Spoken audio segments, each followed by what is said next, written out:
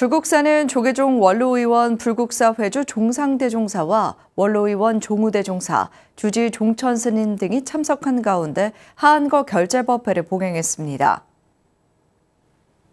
종상대 종사 축원으로 시작된 불국사 하한거 결재법회는 종우대 종사, 이영숙 신도회장 헌양순으로 진행됐습니다. 정진대중은 월산대종사 생전 육성법문과 덕민대종사 격려사로 용맹정진 결의를 다졌습니다.